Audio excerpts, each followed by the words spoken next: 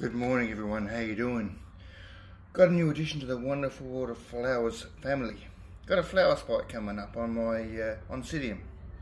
So so happy.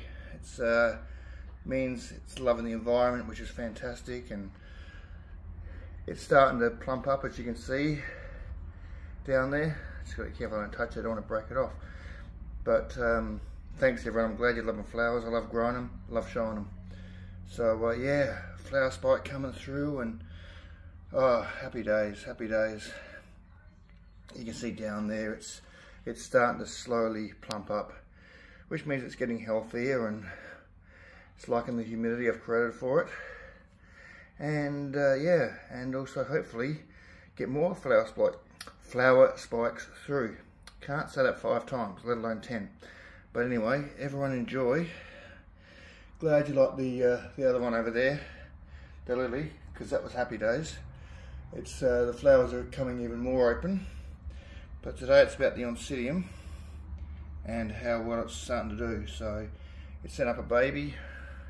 Happy days. I'll do what I can to, um, you know, make it grow fantastic.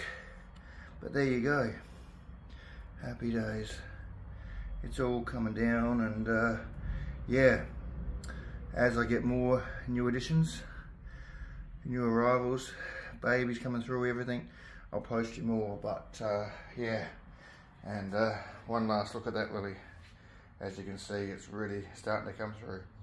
So uh, yeah, big flower spikes coming through, little ones emerging. It's all happening here. And uh, it's all happening down here too. My jungle. So uh, yeah we'll just see what happens and uh, when it opens. I'll show you more. Anyway everyone enjoy your Friday. It's Feel Great Friday so take care and uh, all the best. Bye for now